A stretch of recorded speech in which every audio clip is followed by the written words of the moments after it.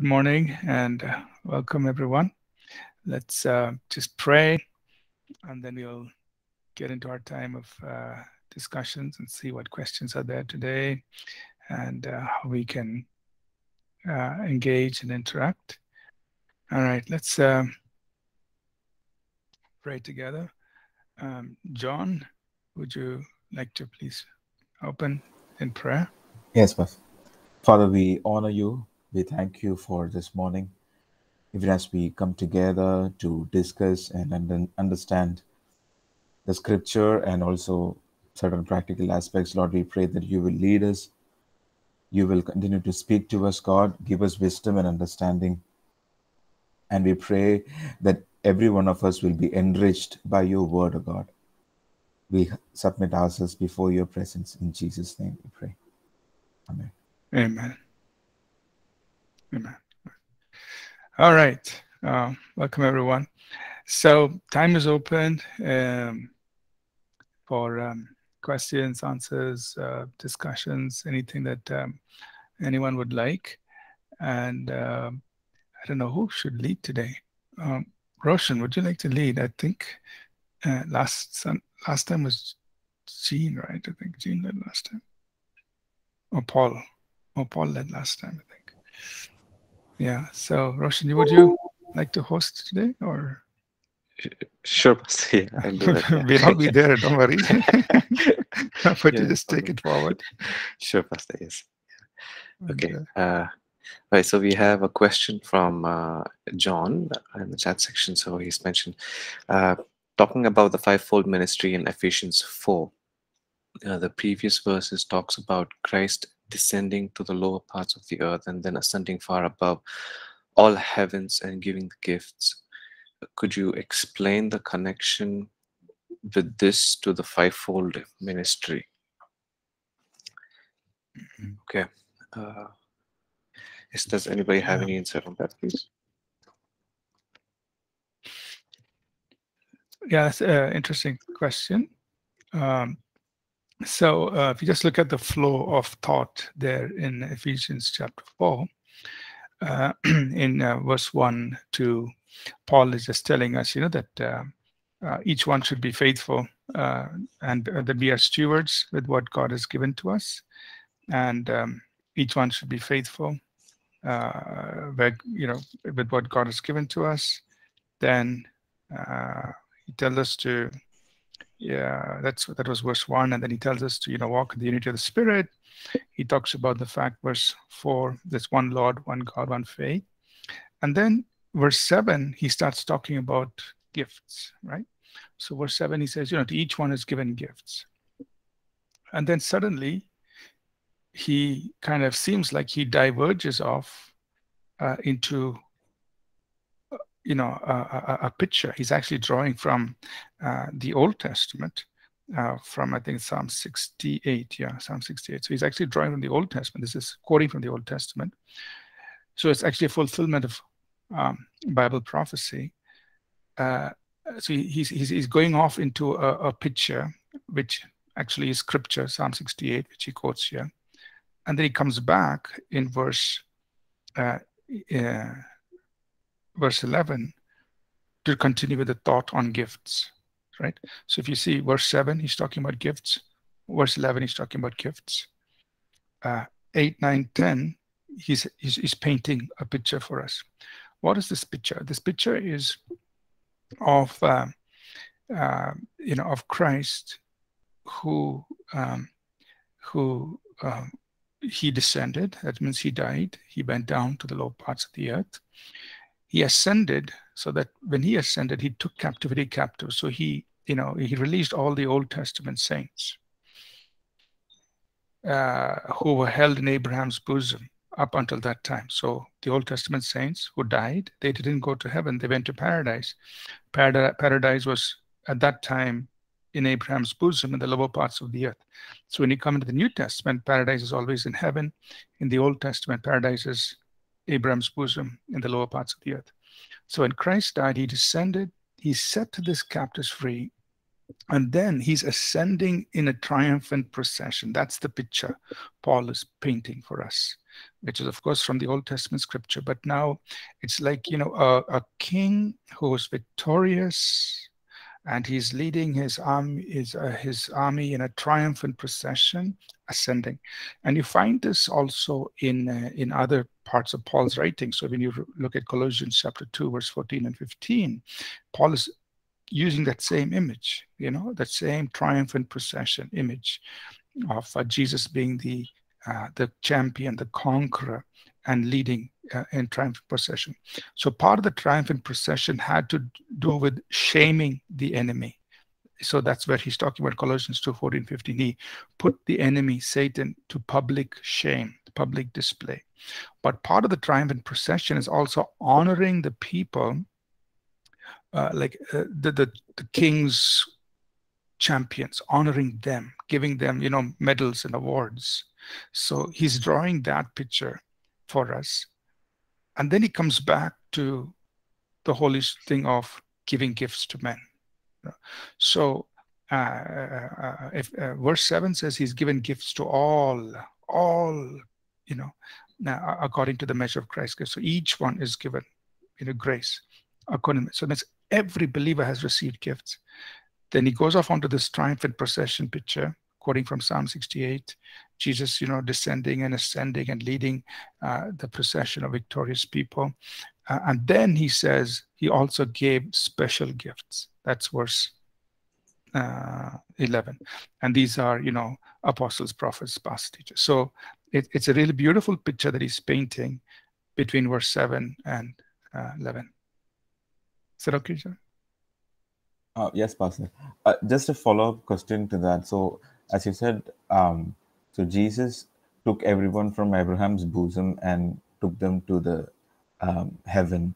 So, it, does Abraham's bosom exist now, or where does believers in Christ go after they die? Hmm. So, um, Abraham's bosom, which is paradise, is now in heaven. So, when you, especially when you come to the New, uh, New Testament, uh, in in, in Second Corinthians um, chapter 12, Paul says, I was caught up into paradise. So up in the third heavens. So Abraham's bosom exists today, but not in the lower parts of the earth, but it exists in heaven. So it's no longer called Abraham's bosom, it's called paradise. So it is in heaven. Um, uh, so you also find that in Revelation where it talks about, you know, uh, you will, uh, uh you know, uh, I forget the reference here. I think it's in chapter 3 talks about uh, being in paradise. So the word paradise in the New Testament always refers to heaven. And then, of course, today, when a believer dies, his spirit goes straight to be with Jesus. Right? Uh, Philippians 1, um, Paul says, uh, uh, for me to, you know, to be, uh, um, in Philippians 1, he says, it is for, better for me to die and to be with the Lord. So Philippians 1 he's going to if he if he dies he's going to be with the lord second corinthians 5 to be absent from the body is to be present with the lord. So today when a believer dies immediately his spirit goes to be with jesus. First thessalonians chapter 4 paul is writing those who sleep in christ the lord will bring with him.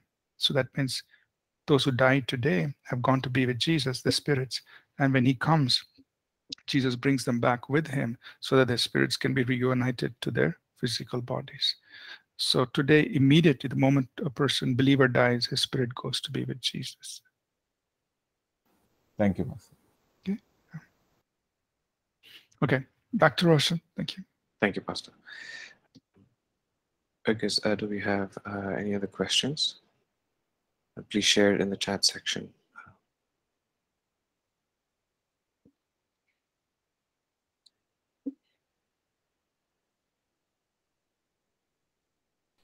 Uh, good morning to you all. Um, I have one question, like uh, it's from John chapter 3, verse 8.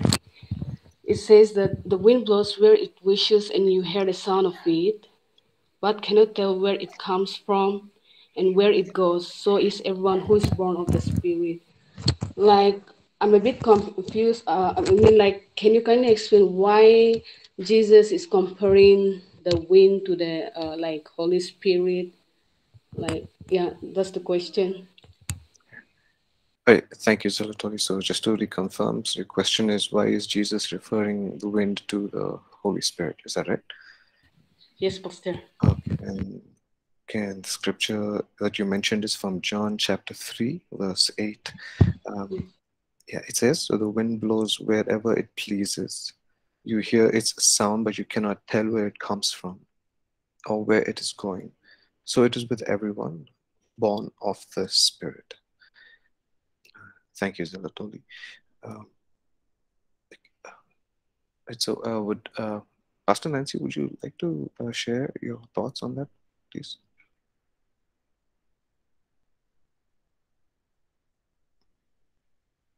Yes, thank you. Thank you, Pastor Roshan.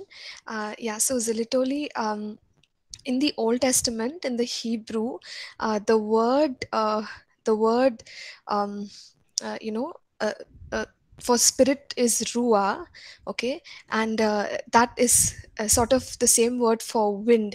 So uh, that's uh, my opinion. Like uh, because of that, here the Holy Spirit uh, and the work of the Holy Spirit is compared to that of uh, uh, the wind, uh, and similar to the work of the wind. Like you can't see it, but you can see the effects of the wind. And in the same manner, the Holy Spirit, like when a person is born again, it's the work of the Spirit, um, you know, that that is done for a believer to be born again.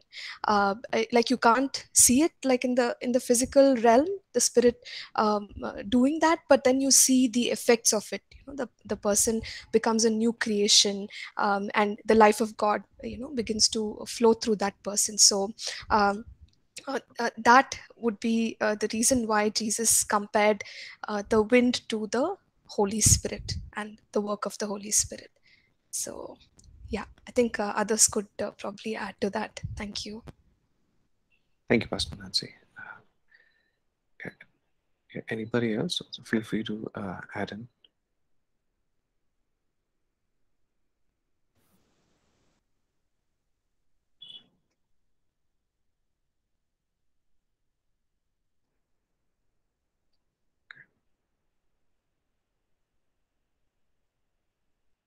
Uh, Pastor, Sh- sorry, just want to check with Zelitoli whether it uh, it makes sense. Uh, is that okay? Yes, ma'am. It's clear. Thank you. Okay, okay, thank you. Thank you, Pastor Nancy. Yes.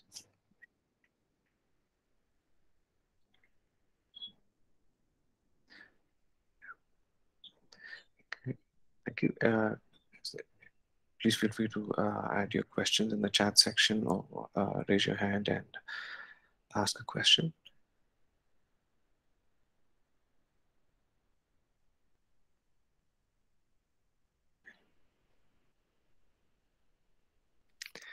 Um, okay, uh, this is not exactly a yeah, it's a question, I, I guess.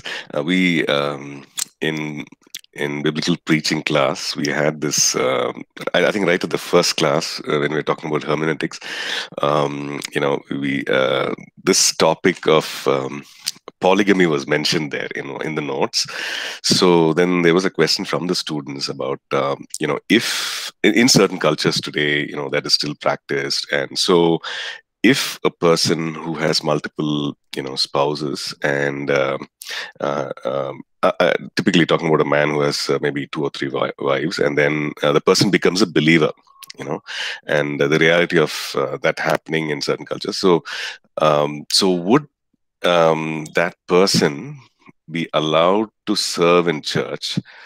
And if so you know how? You know that was the question. So we were just kind of um, we we parked that question. We were kind of saying okay i'll come back. We'll talk about it. And um, so yeah i just wanted to ask uh, pastor um, yeah, yeah we know that um, uh, you know the, the the spiritual side of it and we know that we need to enforce that okay it's it's one person you know one one spouse.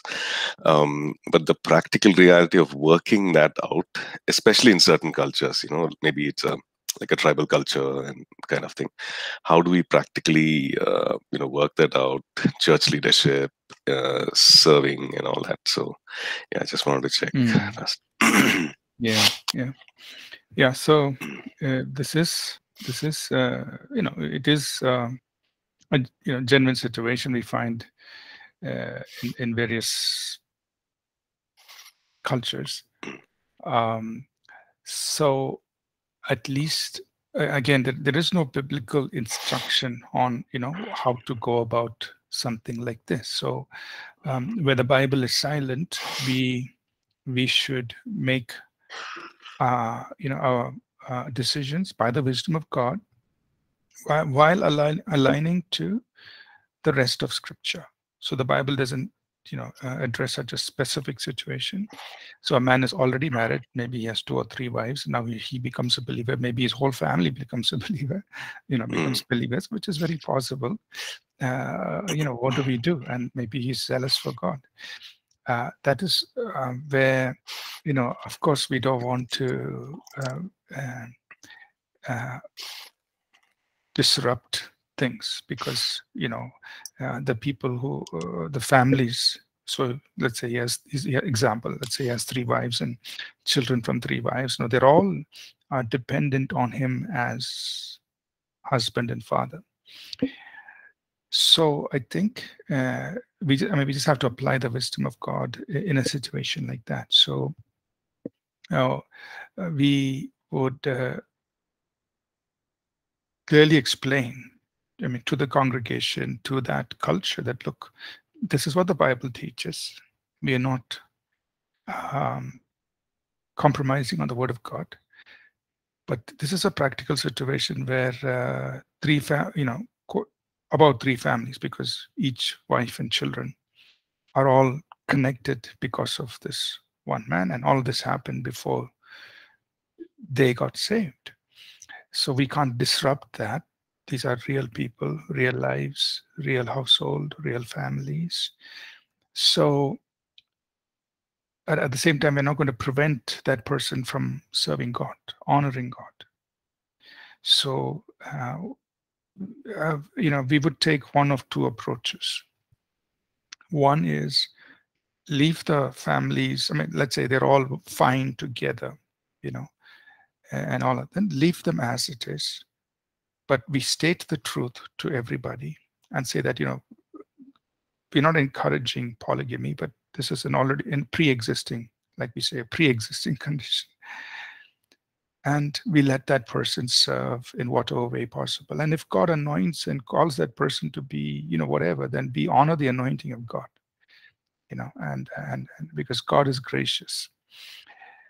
So we honor the anointing of god. We recognize whatever god is doing and go on now, there can be other situations. For instance, uh, one situation we personally encountered when we were this time we were in the US and we had gone to minister in Ecuador in South America, and a man in a service, a man came up to me and then he confessed. He said, um, uh, and of course it was all in Spanish through the interpreter, and he confessed saying, you know, I, I am married, I have a family here, but without the knowledge of this family, I also uh, you know got married to somebody else there and i have another family in that place what should i do? So this was a kind of a different situation where it wasn't like you know they were all living happily together uh, but uh, he he actually did something wrong but he has two families he's responsible for two families. So then uh, this in this situation the second case that i just mentioned uh, the answer is very clear you know you have to stay with one family uh, and the, the second family, the second person you got married, and um, you know you you know you did this, you cannot continue there. You have to stay with your you know the first wife, but you have a moral responsibility to take care of that family financially. So you know you just can't abandon and walk away, right? Uh, so uh, so in that situation, what I did tell him was, you have to stay with one family but fulfill your financial responsibility there because you know you were part of the cause for that family to come into existence. So you know we deal with that situation a little, differently. Whereas uh, in the first scenario where we saw if you know if it was families are living happily then you don't want to break things down uh, you know unless that man is willing to make saying okay this lady was my first wife so i'm going to keep that family uh, the second and third wife, you know, maybe I keep them separately, but he has to continue to fulfill his financial obligation. So from a practical standpoint, he has one wife, children, but from a moral standpoint, he is taking care of his second wife and third wife and those families. So, you know, uh, it may be just a physical rearrangement of situations, but uh, in reality, he's taking care of three families. Um, and, you know, so we could have these options. But I think ultimately, uh, it's the grace of God. It's, we look at it from the perspective of God's grace and God's mercy uh, without hurting people, without destroying lives. Uh, that's what I would I would put forward, uh, you know, in response to that. Yeah. Right, Master. Thank you. Yeah, yeah I think it's it's yeah, it's it's not a it's, it's it's kind of a complex situation, right? Practically applying, and I guess some sacrifices also, uh, yeah, uh, have to be made, and it's some tough uh, things. Yes, yeah, I understand that. Thank you. Okay, Roshan, back to you. Thanks. Thank you. Thank you, Master. Uh, yes, so uh, Divya has asked us a question so from James chapter 4, verse 7. Um, it says, Submit yourselves then to God, resist the devil, and he will flee from you. Uh, when it says in the scriptures to submit to God and resist the devil, uh, how this is done in a believer's life at an application level effectively. Okay, um, so just again to give us the context from the scriptures uh, from James chapter 4, uh, if I have to read from verse 6 and 7, it says, But he gives us more grace. Uh, this is what the scripture says God opposes the proud but gives grace to the humble. Uh, he's actually quoting there from Proverbs 3:34. Uh, he opposes the proud but gives grace to the humble. Um, submit yourselves then to God, resist the devil, and he will flee from you. Uh, Divya, is it okay if I just read a couple more scriptures before prior, like verse 4 and 5, just to understand better? Yeah, Okay. so it says, uh, You adulterous people, don't you know that friendship with the world is hatred towards God? Anyone who chooses to be a friend of the world becomes an enemy of God. Or do you think scripture says without reason that the spirit he caused to live in us envies intense, intensely? But he gives us more grace. This is why scripture says, God opposes the proud but gives grace to the humble. Submit yourselves then unto God, resist the devil, and he will flee from you. Uh, I'll, I'll sh share my thoughts and I'll open it up for uh, other faculty to share their insights on it. Uh, I, I, feel like what James is James, I mean, obviously knows his audience uh, when he's writing this, um, and I feels like you know that although these, there is this group of people uh, who call themselves believers, uh, you know, they yet desire uh, of the things of the world, the pleasures of the world, etc., etc. Um, which uh, I think in, I, I mean, back in those days, if I understand things very clearly, so in, there was a lot of influence of the Greek civilization, which was all about their personal desires. Uh, there, you can do what you want, as uh, you know, if you have the desire, kind of a thing. Um, but that that's what the scripture says that God opposes that you can't serve two masters, uh, so to speak, and and and then it comes down to verse seven, which is um, "Submit yourself." Um, submit submission uh, is just an alternate word for uh, humbling ourselves, giving our all. Uh, it's a sign of humility. I think that's why the previous verse says he opposes the proud but gives grace to the humble. And uh, and actually, I mean, I've been reading this book called Absolute Surrender by Andrew Murray.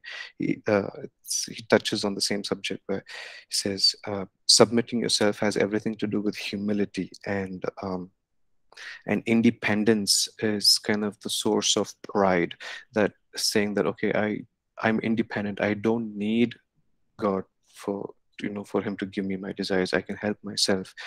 But um, i think what the scripture says is you know when we trust him when we solely depend uh, for uh, you know from our day day to day basis um, you know, it, it pleases it pleases him. So um, I think a life application on a regular basis, uh, uh, we go to Him, we look to Him for everything, for all our wants and all our needs, uh, and and you know, and just having that uh, attitude in our hearts where uh, I can't do this on my own without you, and that somehow pleases Him.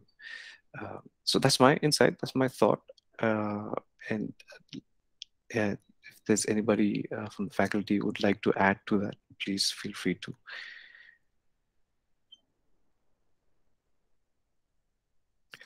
Um, I was thinking um, when we say submit to God, we are also uh, submitting ourselves to the authority of uh, His Word, like the precepts and principles and um, instructions um, that the Lord has laid out. So we are bringing ourselves, aligning ourselves to His Word. So um, you know whatever instructions are there whatever principles are there we are bringing ourselves um, before uh, and uh, submitting ourselves to his authority. So when we do that when we are not uh, you know when we when we are intentionally not stepping out of that but when we are intentionally aligning ourselves to the word of god to his instructions um, then we are uh, you know daily when we do that we are actually submitting to god. And then with that comes the authority to resist the work of the enemy yeah thank you Oh, Thank you. uh, also, yeah. sorry, Nancy, go ahead. I know it's okay, Jean. You go first. Okay, uh, I think one of the um, practical ways of uh, is is also you know what we see in Ephesians six eleven, um, you know, a verse that's so familiar to all of us, putting on the whole armor of God that you may be able to stand against the wiles of the evil one, and uh, that entire portion talks about um, the armor of God and what you can do to withstand the evil one so that we stand. Uh, uh, I think that's very familiar. Uh, and also, verse 18, in addition to the armor of God, it says, praying always with all prayer and supplication in the Spirit. So, um, putting on the armor as well as praying with all prayer and supplication in the Spirit so that we are being watchful till the end to resist the work of the enemy. Yeah, thank you. Thank you, uh, Jean, Pastor Jakes, and uh, Pastor Roshan. Uh, just to add to the line of thought here, uh, while we're talking about submitting to God, uh, and then you know James says resist the devil. So mm, I was reminded that uh, in order for us to resist the devil effectively, uh, we have to walk in alignment to um God's God's will, God's plan, God's purposes, and as Pastor Jaikumar said, uh, uh, in line with His word, His precepts, His principles. So once we have done that, um, uh, I was reminded of uh, Ephesians four twenty seven, and that uh, scripture says, uh, "Nor give place to the devil." So once we have submitted ourselves to God, that's when we are in a good position. Uh, we we are in a place where uh, uh, give no place to the devil also means you know give the devil no opportunity. Don't give him any loophole. Uh, let there be no cracks. So you, you, we are in a safe position um, even if the enemy uh, were to do something against us you know we are fully submitted to god and uh, we are able to uh, resist the devil we are able to uh, gain victory over the enemy so yeah just this additional thought about uh, giving no place to the devil thank you Mm, Thank you, uh, Pastor Jakes, Jean, and Pastor Nancy. Thank you. Okay. Um, all right. So the next question we have from is from Diana, Diana Tholur. Um, there are many translations of the Bible. One, why was is there a need for this? Two, uh, what is the best way to explain this when asked by a non-Christian? Okay. Thank you, Diana. Um, so just to understand the question uh, better, so uh, when you say why are there many translations, as in uh, are, you, are you referring to the uh, the versions or is it the languages? The trans why is the Bible translated into so many different languages? Uh, Uh, probably the versions. I didn't Oh. know what the right was, word was to say translation or version. sure, sure, no Probably the problem. version. Okay. Pardon Okay. my ignorance. sure, sure, no problem. Okay, yeah. Yeah, so just a quick, uh, quick uh, uh, note there on, on that. So, um, and, um, you know, just to understand how Bible translation uh, is done, uh, which gives us, you know, a wide range of versions. Uh, uh so very, very, you know, I just put it in a very concise way. Uh, there is, um, there is uh, two two main criteria. One is structural integrity on one side, and then there is audience relevance so um, when Bible translators are, you know, working on the translations, they're saying, we want to be struck, uh, we want to, do we want to maintain structural integrity, meaning word for word translation, or do we want to be relevant to our audience? That means, you know, I'm going to say what that verse is saying in a way that's very relevant to the modern day. That's relevance. And then there is uh, uh, the integrity of meaning. That means uh, while uh, they, they're not so particular on word for word, they want to maintain meaning, right? The meaning has to be correct. So there are these three big criteria, right? So so you we will have some versions that are word for word translations, like the King James uh, and you know many others. New King James, the New King James, uh, they are word for word. You know, uh, so if that word is there, that word will be, you know, in corresponding English word or words will be used. So they are maintaining that kind of an integrity. Then there is, uh, in, you know, maintaining thought and meaning. What was the thought? What was the meaning that was conveyed? So you have Bibles that focus on that. So, you know, um, uh, uh, NIV and uh, uh, New American Standard Bible and uh, the Passion Translation, and they all try to do that. They are kind of, you know, uh, a thought for thought, meaning for meaning. You know, they they're not word for word, but they're trying to capture the meaning and at the same time they're trying to keep it in modern language you know uh, in, in today's language. And then you have bibles that are just purely okay we want to be relevant to the modern audience. We're not worried about word for word. Uh, we are not so uh, uh i mean the meaning is important but we want to put it in modern language. So we want to convey the thought in modern language. So you have modern translations like the you know, we would put uh, the Living Bible, the uh, Message Bible, uh, those kinds of versions, which are they're they're not word for word, they're not you know um, thought for thought, but they're more let's be relevant to today's uh, audience. So they're on that extreme. So that's the reason why you have these white. They're, they're you know they're serving a different kind of audience.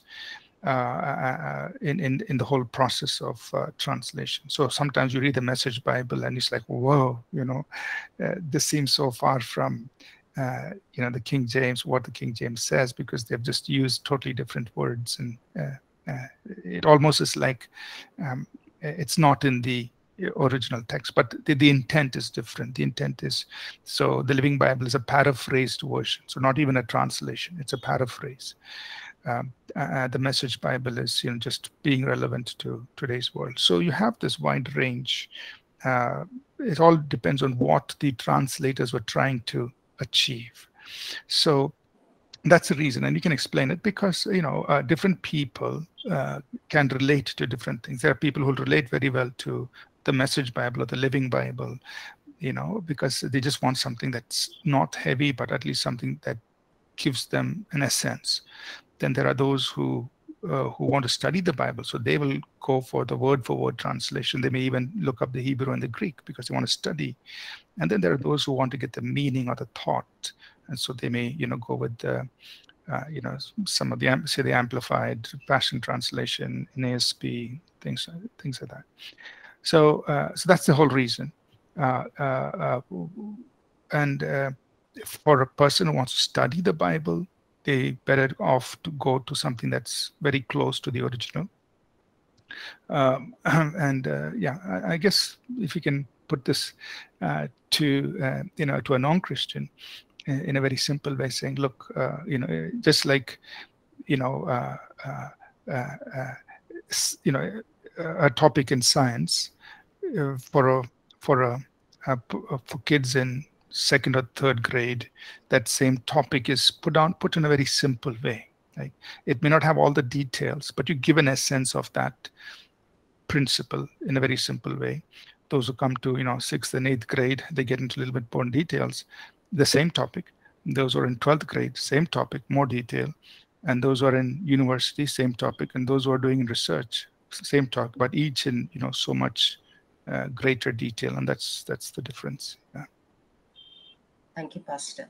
Um, I just have a quick follow-on question, uh, Pastor. So when a non-Christian comes, we're in the process of talking to somebody, when the non-Christian comes, uh, which version uh, of the Bible can we primarily rec recommend them to read first time?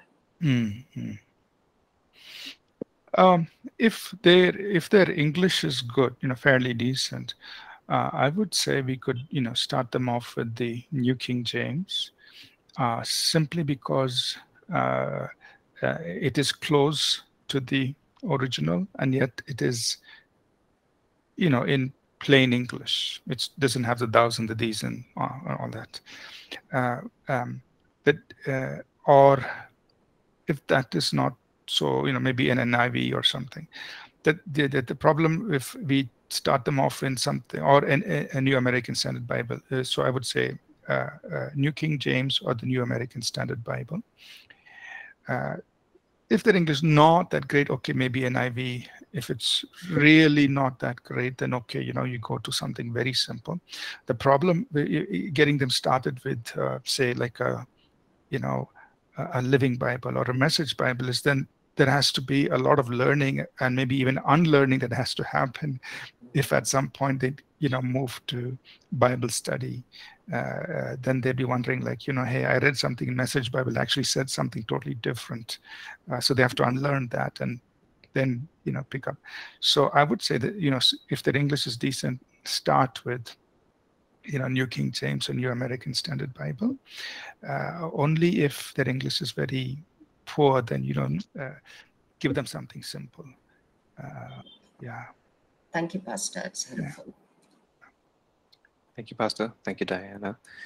Um, right, uh, we have another question from Zeladoli. I think it's quite an important one. Uh, she says, what's the biblical way of uh, disciplining someone who has already started to live in with his or her partner be before holy marriage? Because I grew up in a Baptist church and I noticed the pastor used to call their names out in front of all the church members that he, she uh, name has been cut off from membership because they committed uh, for, uh, fornication, adultery, etc. Um, so, what's the biblical way of disciplining um, an individual or a couple that's that, who've been living together? And, um, Yes, Jean, would you like to share your thoughts on this? Um, yeah, um, thanks, Roshan. So, I, um, okay, so I'll, I'll, probably just share a couple of uh, insights and then um, yeah, leave it to the rest.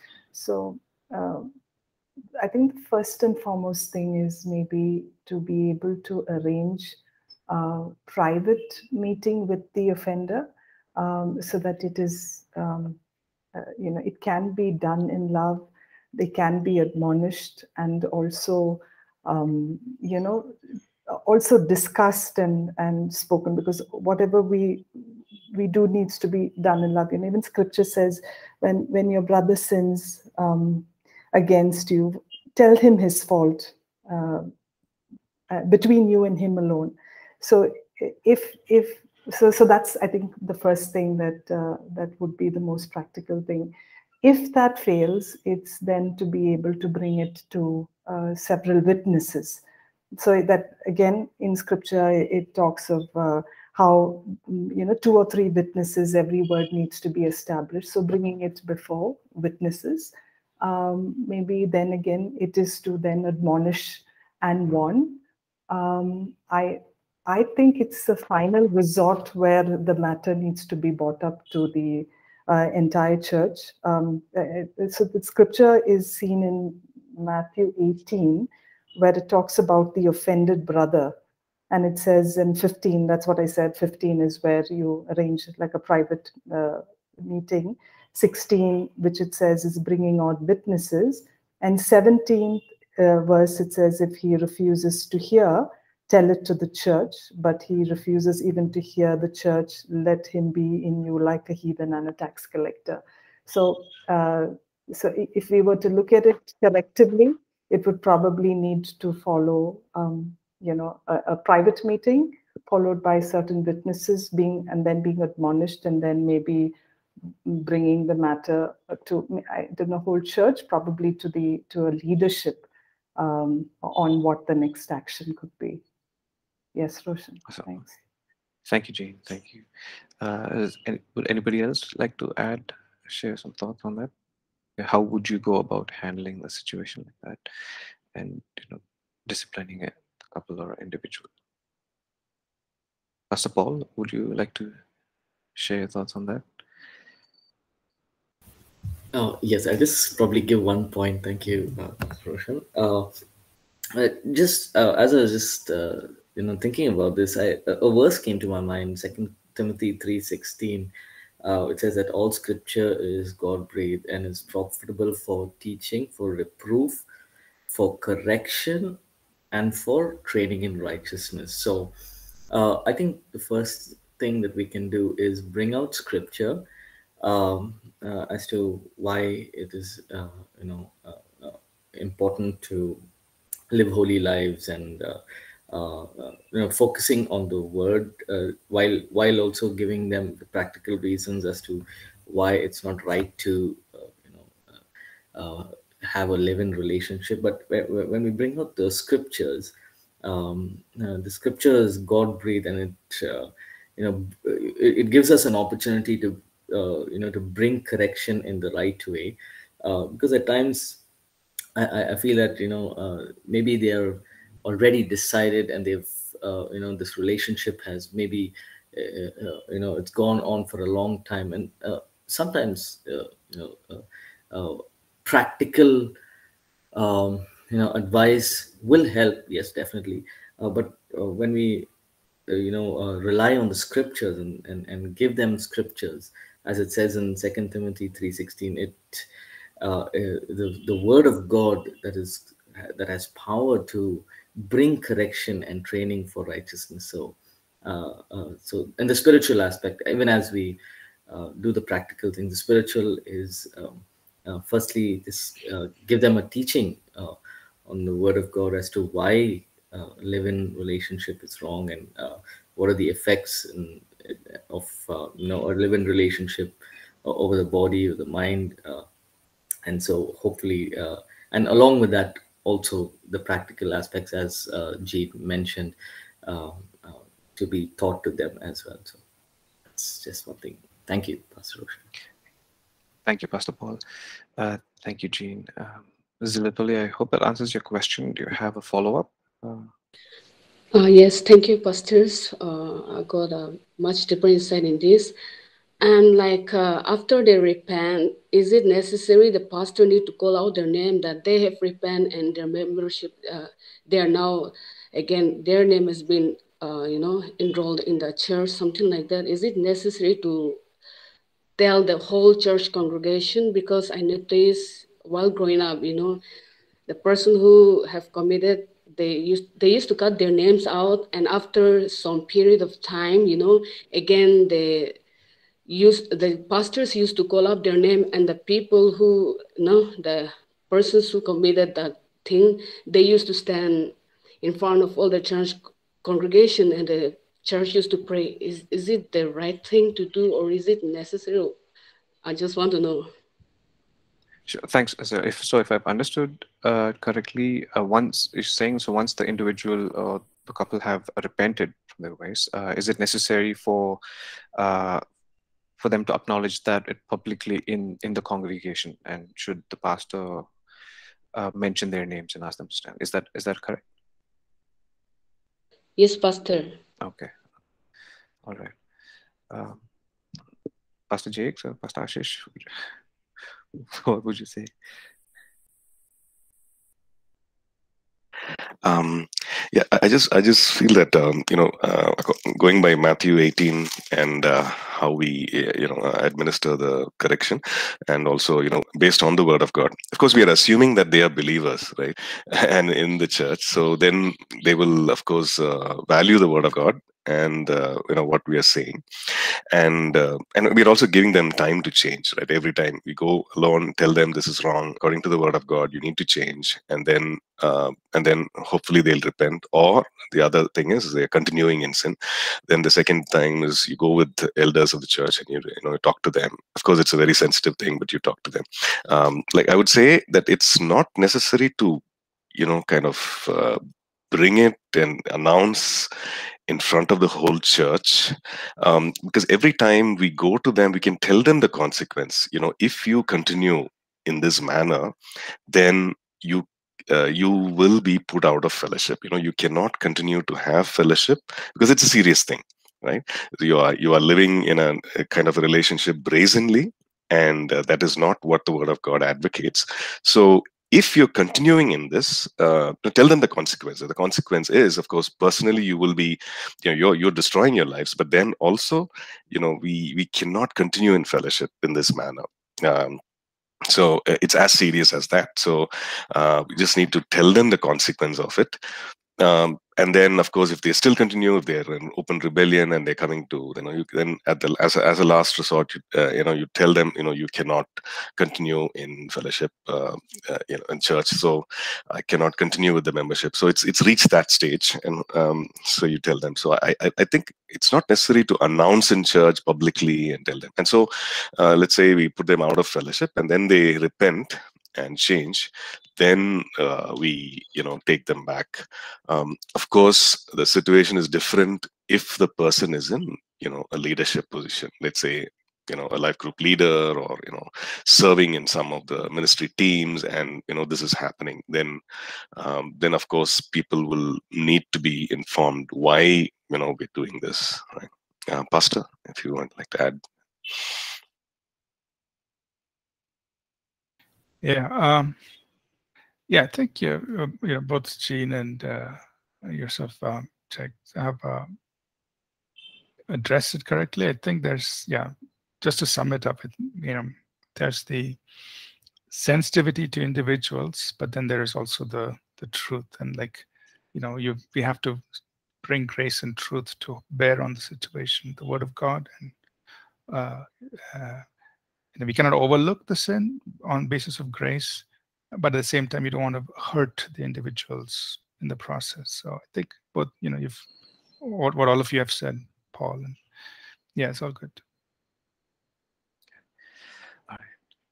Okay i think uh, we uh, just reached our time. Uh, we're out of time right now. Uh, abhishek we will uh, is it okay if we uh, take your question for the following week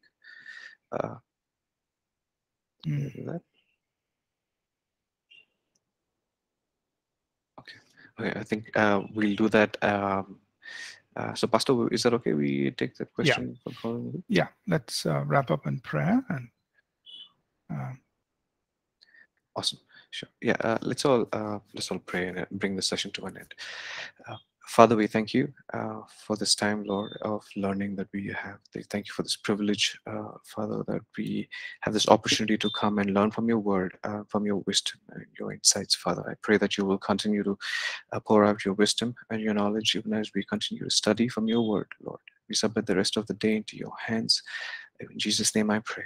Amen. Thank you, everybody. Have a nice day. Good day. Bye.